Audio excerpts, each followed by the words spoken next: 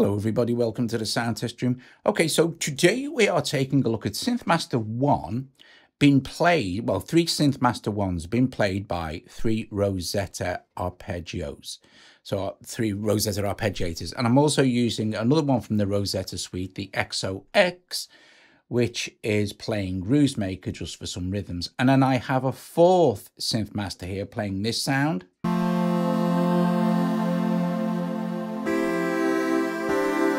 Is just brilliant. And if you're interested, that sound is Key Orbit 2. Okay, so how do we have this set up? First of all, I've opened three Rozeta ARPs here like this. And on each of these ARPs, I've set the latch to be on. Because when I play a keyboard, a key, a key on my KeyStep, I want this ARP to start. Now, if I engage the first one here, and I'll turn the volume down for this one playing the chord. Just for just for uh, reference, all these synth uh, are set to my um, Arturia KeyStep via the Steinberg interface. So for example, if I tap on this here, this ARP is playing this synth master. Okay, so the routing for that is MIDI output to the first synth master here, which is this one, okay? And if we go back, the MIDI input for the arpeggiator is coming from Steinberg URC16 port 1, which has my um, um, Arturia KeyStep plugged into it. And it's the same for all of them. If we looked at this second one here and the third one, the MIDI input is coming from the Steinberg port 1. And then the MIDI input for this one is also coming from the Steinberg port 1. And you will see that the MIDI output here is going to the second synth master. And the MIDI output for this one is also going to the third synth master. So all synth masters are playing these arpeggiators if I hold them now. I have a latch switched on. So what's going to happen as soon as I press play on my keyboard, uh, a, a chord, I can let go of the keyboard and it will carry on. And when I change chord, it won't overlap those chords. It will just change the chords. And this makes this brilliant. So for instance, now I don't have to have the transport running just yet, but I'll switch it on anyway. And we have this XOX here, just playing a very simple rhythm from Groovesmaker.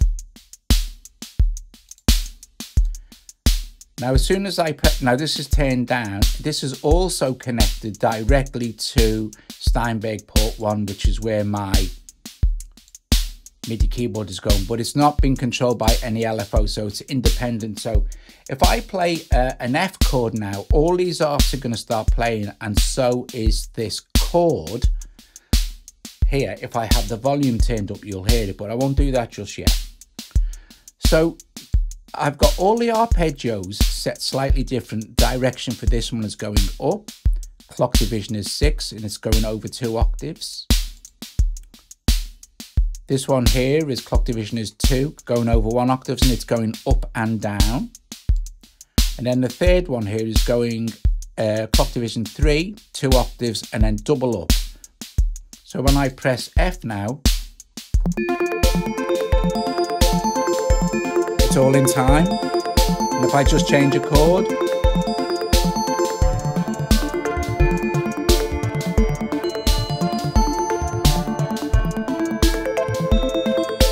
so I'm just playing the keyboard now. So I can fade these out. If I bring this back in now, this is only going to play while the keyboard is held but it's going to change the chord for the arps because all of this stuff is linked to the keyboard.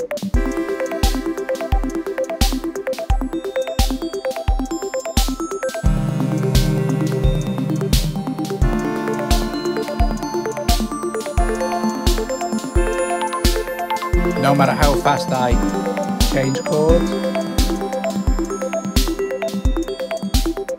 And you can go in and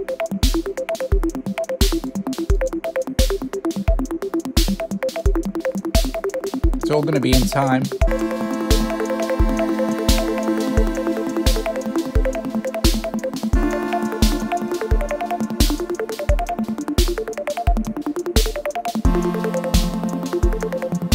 We could do the same kind of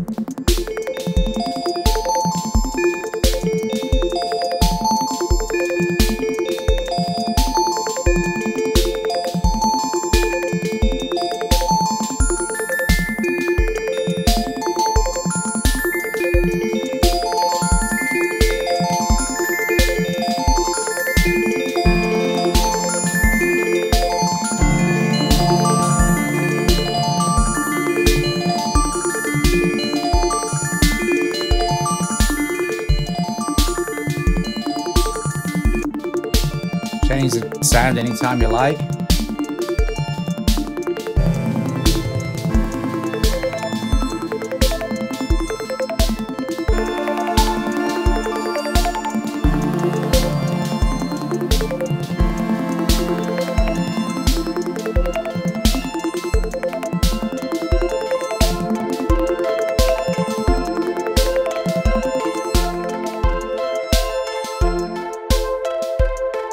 So this is the second arp.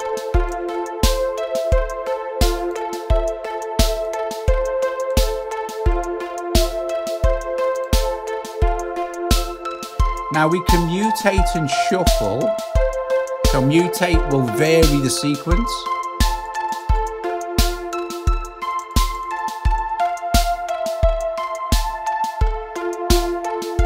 And we can kind of do the same thing with XOX as well. If we go in there, we have this mutation. So let's mutate the kick drum a bit, and the snare, and the closed hats.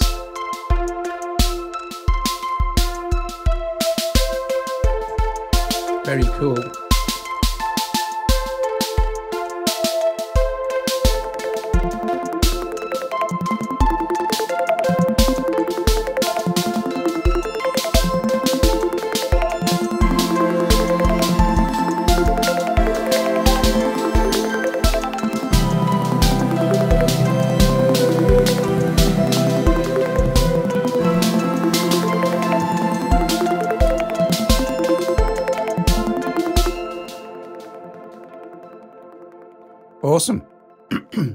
So you get an idea of uh, some of the cool stuff you can do. Now, I will very quickly, let me just disconnect all these like this, and I will quickly set one up for you from scratch just to show you exactly what to what to do. So let's go all the way over to the end and let's turn the volumes down for these.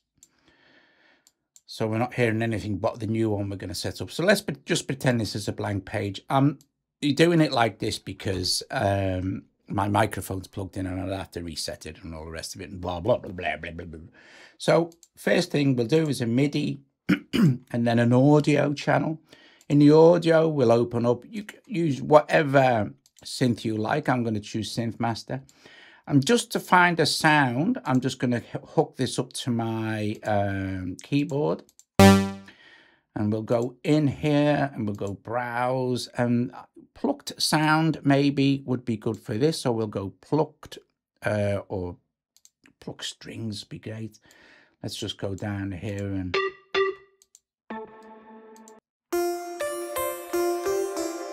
nice we'll use that then in this, I'm going to set up a audio unit extension and it's going to be Rozeta Arpeggio. Okay, now we can disconnect SynthMaster from the Steinberg now, so we'll just do that. There'll be nothing at all. so what we want to do is go into the Rozeta Arp little toaster menu. And when it says MIDI output, we want to send MIDI from Rozeta arpeggiator into SynthMaster. So click on MIDI outputs here and then choose the SynthMaster or the synth you want to use. Well, we know that this is the last SynthMaster and it's this one down here, which is called, it's in number nine. So we just close that for a sec.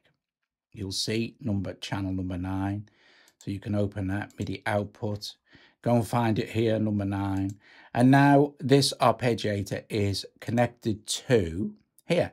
But playing the keyboard won't do anything until we hook up the arpeggio to the, the arpeggiator to the keyboard or to whatever you want to give MIDI to it, like ChordBud or scalar or something, you know.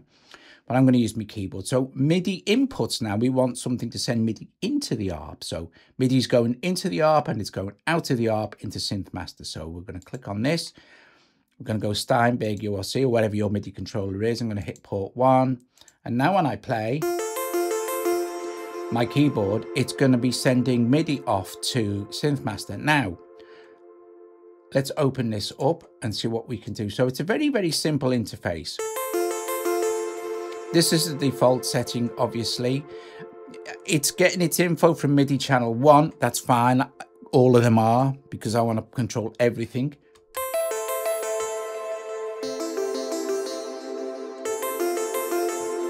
Now, if you also uh, your keyboard uh, responds to velocity, you can do all the velocity uh, stuff here.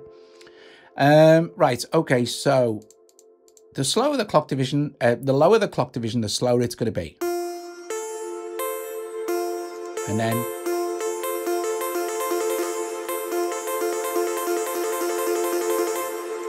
all the way up, up to eight. Octaves is self-explanatory. The more octaves you have, the more it's going to track over the synth. So this is just going one octave.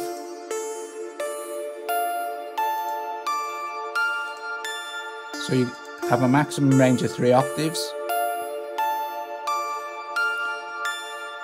Shuffle will literally just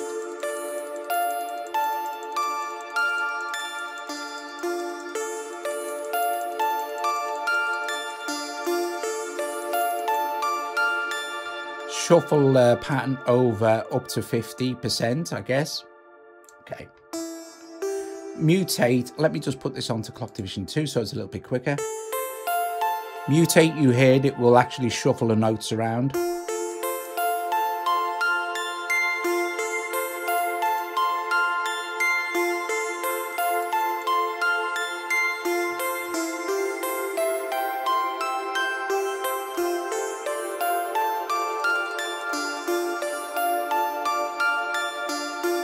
So the higher the number, the more likelihood of it being randomized.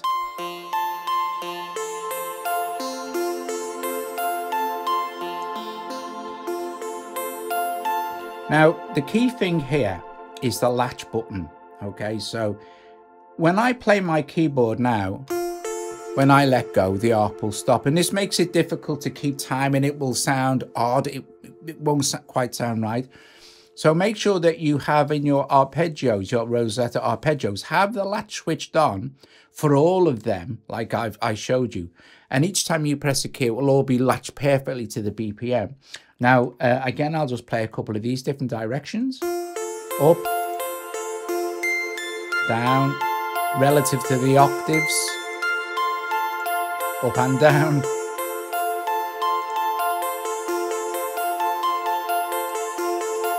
Random.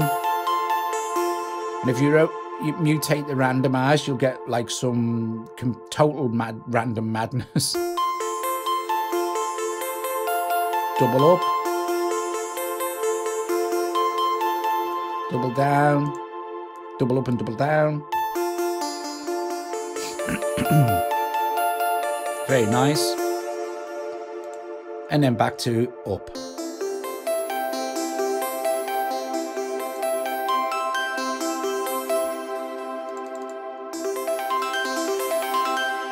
That would sound nice up and down. Now, if I switch latch on, we can bring in the others. You will hear, I'll just do this with my finger quickly, that everything is now in sync. So I'll just push these back in and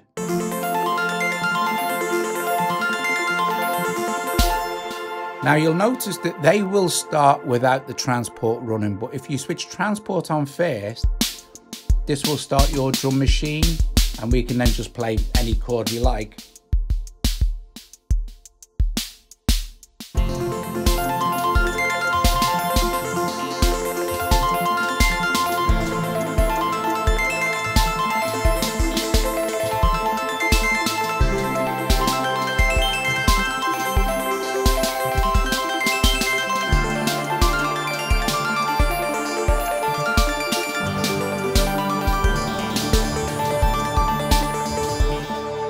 There you go. there's how you can control, well, Synth Master, but you can do it with any synth you like with Rozeta Arpeggio, which is marvelous. I'm digging back into the Rozeta Suite. I, th I think it's incredible, you know, and most important thing to remember is if we have a look here, if we open a, a blank project, go to audio, select this, and um, actually it's in the effects, I think. No, it's in MIDI. Let me have a look in MIDI open a MIDI channel, open this, it's in the audio unit extension. I will just type in Rozeta, Rozeta, there we go. And it's all of these are, are, one app. All of these are part of one app. you are Arpeggio, the XOX, the LFO, the rhythm, the bassline particles, Collider, the XY pad, Rozeta Cells, and Rozeta Scalar. Scalar is the only one I don't actually use. But, uh, you know, I know a lot of people that do, but all the rest of them I've used and I've done uh, tutorials for as well. So, yeah, awesome stuff. Top job. Cool beans. Guys, if you enjoyed the video, please give it a thumbs up. Subscribe to the channel. Please consider becoming a Patreon or making a super thanks or a donation or something to help support me and Jo here at Sound Test Room. Bless you all. Thank you very, very much for watching. And I will see you all later. Ta-ra.